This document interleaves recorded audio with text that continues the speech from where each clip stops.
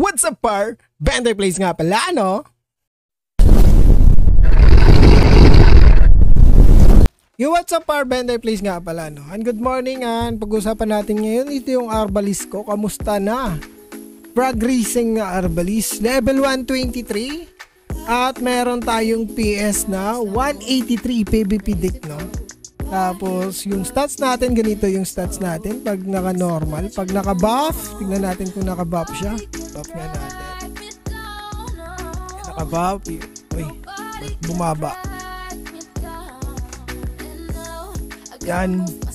Kung naka-buff, meron tayong 6,000 na physical damage, 662, 22 sa accuracy, 2-1 sa EBA, tapos 1-9 sa crit, um, 1-7 sa crit EBA, tapos sa crit damage naman meron tayong 369%, 369. Sa bash damage meron tayong 301. sa debilitation success, meron tayong 147, bumaba siya bumaba kasi nga nagbago yung build ko. Ito na, ito naman yung tumaas, yung debilitation resist natin tapos yung knockdown recess okay? Kumata tumaas ng konti mga konti lang. Kasi nga nagbago yung build ng arba ko okay? Balik natin sa XP Like, nagpapalevel ako sa Pantasia 4F kasi may tao sa 3F right boss. Okay iala boss. Okay.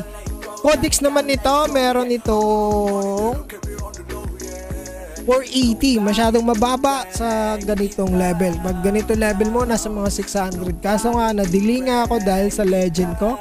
Tapos sa consti. Doon nadili din tayo doon. Kasi mas inuna natin yung consti natin. Tapos yung training. Napunta tayo sa training. Yung pag-uusapan ng consti meron tayong 11 papuntang 12 tapos dito meron din tayong dalawang 11 tapos toadstand 2 na tayo. Tapos ginagawa na natin yung violet mist natin. Tapos, ito, ginagawan ko rin ng paraan. Pero, sa tingin ko mauna yung Constituent kasi naglalak yung yung conquest natin. Yan, naglalak, wala tayong ma-ups na conquest kasi nga dito nakatenga sa 12. Okay? Magpapa-consti 12 muna tayo bago tayo mag-ups na dito. Okay? Tapos, spirit, oh, enchantment muna tayo. Sa enchantment naman, wala, o sa item naman, item initiation natin, meron na tayo, kompleto na tayo epic, meron tayong isang legend, tapos kompleto na natin, kahapon ko pa na kompleto, itong lima, ito yung pinakahuli. Yan, na-kompleto na natin yung set natin.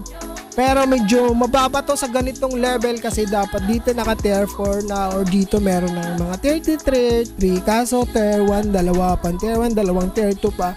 Kasi malas ako sa equipment. Isa din yon. Bakit ganito yung PS ko sa mga nagtatanong? Sa equipment, sa codex yan. Kasi medyo mababa. Pero dito, gumagawa ako ng tier 3 na ring. Kaso kulang pa rin ako sa glittering powder. Yun lang problema natin. Sa ganitong level, mamumroblema kayo sa glittering powder at sa elixir. Kaya kung meron kayong maraming glittering powder at tapos elixir, huwag niyong sayang-sayangin yan par kasi pag ganitong level, ubusan talaga yan. Okay, punta na tayo sa enchant ng mga item ko. Enchant ng item, ganito yung enchant ko, crit damage boost. Or kahit ano na lang. Depende na lang sa inyo yan, pero more on debilitation. Ay, debilitation, saan yun? Iba pa. Debilitation success mas marami. Meron din akong debilitation resist knockdown resist. Depende na lang sa inyo yan kung anong gusto nyo. Basta good sa akin yung debilitation resist at knockdown resist, tapos crit damage boost, tapos debilitation success. Kasi hirap naman kasi mag kaya nito, goods na rin kasi special enchant naman, bash, basic, tapos crit damage complete. Medyo okay-okay na, kaya ganyan na lang kasi, mahi- kasi mahirap mag-special enchant. Kailangan mo ng Dragon Steel. Tapos pagdating naman dito sa ito naman, legend, masyadong mahirap. Magasto sa Dark Steel, yung iba maganda naman, debilitation success, crit damage, debilitation success. Dito kasi sa Legend, kaya, kaya ganyan yan kasi mahirap mag-enchant pa. O sige, 8k bawat enchant. Aso, Kailangan natin ng Dark Steel ngayon para for for the vlog, okay? Nawa tayo ng 10. Yung 10, 80k na agad, di ba? Sinusubukan ko pa rin siya araw-araw pero yun, may pumasok na maganda nga. Pero wala. Yan pa rin yan. Yun! Okay. Isa pa. Oh, Crit Eva na naman. Wala na, isa na lang. Wala na. Wala. Yun, nagsayang tayo ng 80k doon. Nawala. 'Di ba? Mahirap maging dyan sa legend kung marami kayong Dark Steel eh, why not to? Mag, mag-enchant kayo na mag-enchant. Kaso ako kailangan ko ng Dark Steel ngayon. Marami akong binubuo. Maraming ginagawa tong character ko sa training. Kaya, yan, dyan lang muna. Tama na muna yan. Basta swak sa build nyo or swak sa arban nyo. Okay na yan. Kung anong malagay dyan. Pero mas maganda pa rin talaga yung bagay sa arma nyo. Kung debilitation success din dito, di ba? Or debilitation resist, di ba mas maganda? Eh, kaso, ganyan na lang talaga kasi wala tayong magagawa. Hindi naman tayo kuya. okay, pagdating naman sa training natin, no, meron tayong Consta 11, 11, 11, 10, ito na lang yung ito pa ginagawa natin. Tapos dito sa Solitude, is meron na tayong Propound Realm 6. One, um, Tier 131. Medyo medyo malaki na. Isang dito na lang ma-open ko na to sa level 125 pa to kasi 123 pa naman tayo. Okay? Tapos yun, mga epic na lahat. Okay? At pagdating naman sa skill natin is yun, ganun pa rin. Dito na lang natin titignan, no? Meron tayong dalawang kulang na lang. Diretso na natin, no? Dalawang kulang na lang. Yan, meron tayong, wala pa rin tayong Venomes at saka Illusion na ano. Yung iba, tier 9 na. Meron akong tatlong tier 9. Tapos, ito na lang yung dalawa. Ayaw talaga ibigay. Wala tayong magawa. Sabi nila, mag, kuan, di natin pipilit. Di natin ipipilit kung ayaw talaga. Wala talaga, pare. Wala talaga. Yun talagang ayaw, ayaw talaga ibigay ni Merpor, eh. Eh wala tayong magawa kung di bibigay sa atin yung hintay-hintay na lang, naghihintay-hintay na lang ako, di kasi ako bumibili ng mga kuan. Kaya hintay-hintay lang tayo, F2P lang tayo para F2P na tayo ngayon. Masyado nang mahirap, masyadong magastos yung Merpor sa ngayon. Kaya pag lalo na ganito level nyo, magastos na masyado yung Merpor. Kaya wala, hintayin na lang natin. Kung di talaga ibibigay, wala, wala tayong magagawa doon. Okay? Tapos, Pagdating naman sa spirit, dito na nag-iiba yung kuan natin, no? Kasi nag-iba yung spirit ko. Yan, nakikita nyo naman, may near kan na ako. May near. Tapos, yung mga treasure niya, nag-iba din. Ganito na treasure ko. Gusto ko na treasure, debilitation success. Uh, debilitation success, isa. Debilitation resist, tapos knockdown. Yan ang pinaka gusto ko sa mga spirit ko. Kaso meron tayong mga unique treasure kaya nalalagyan ng ganyan. Yan. Yan. Tapos ito, hindi, ito kompleto na to. Yung tatlong to may unique treasure, okay?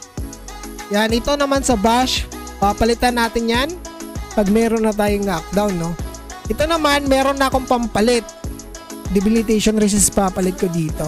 Tapos ito din debilitation resist. Bakit? Bakit? Kasi gusto ko yung ganun, ganun na build ko eh. Debilitation resist. Bakit hindi ko ipapalitan yung mga unique? Kasi yung mga unique treasure na to, maganda din. Maganda to eh, maganda. Skill damage boost yan paro. Skill damage boost 14 15 seconds. Kaya ito na lang papalitan ko. Okay, tapos ito crit damage to. Yan, crit damage. Maganda naman. Sabi nila, babasagin mo na lang yan, Bentay. Oh, babasagin ko talaga to, itong mga to. Kaso nga, hindi pa natin babasagin ngayon. Kasi nga, nandito tayo sa peaceful server. Wala naman tayong kalaban dito, kaya dyan na muna sila. Dyan na muna yung mga kwa natin. At di, di ko pa rin sila binabasag. Alam nyo ba kung bakit? Kasi mahal yung magbasag par. Paano kung mag-success yan, di ba? 500 yan o 500 dark steel. Wala tayong dark steel par. alam ko naman yun kung paano babasagin nyo. Kung hindi nyo alam, ba, pwede nyo lang i-ups tapos babasagin nyo. Tapos makakuha kayo ng mga shards. Yung Sarge, pagpalit nyo sa Arcadia Village, papakita ko sa inyo Arcadia Village. Dito nyo pagpapalit yung Sarge pag nabasag nyo yung mga treasure nyo. Pag binasag nyo, kaso, kaso nga, ang dark steel nun, malaki. 500, di ba? Kita nyo naman, 500 bawat up. Okay, papakita ko sa inyo lang kung saan na uh, makakabuo ng shards. Kaso maraming kailangan ha, hindi lang yan, dito yan, ito yung nababasag. Pag epic, ito yung lumalabas na shards. Pag legend, ito. Iwan ko lang kung may puma, may nagle-legend ba? Kung epic yung binasag? Di ko sure ha, kasi di pa ako nakatry nagbasag eh. Yan, dami naman, dami kasing kailangan pa ro. 100, ah, dito. 25 lang dito sa Spirit Treasure. Kaso random. Random ha. Hindi mo siya makukuha ng kung anong gusto mo. Random yan. Okay? Tapos, 100 ng ganito. Tapos, ito yung kailangan mo, 50. Tapos, ganun din sa Magic Stone kung mag-apps kayo.